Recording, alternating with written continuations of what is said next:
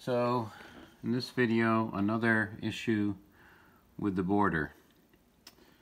Um, I put these two pieces in because they were the only ones that fit there and they look pretty good.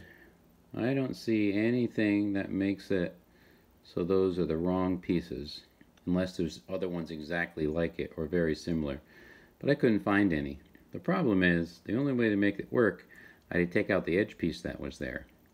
And now the only edge pieces that are left to fit there, none of them fit. That being said, that means something else must be wrong in this border, in this edge. And what could it be? I have no idea. So now I have to go back and try to figure that out. Like maybe this one looks right, but it's not exactly right and it goes here instead. Yeah, it doesn't fit at all.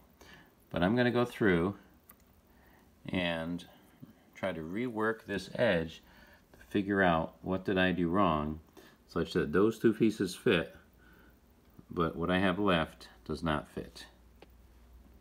Once I figure it out, maybe I'll make another video.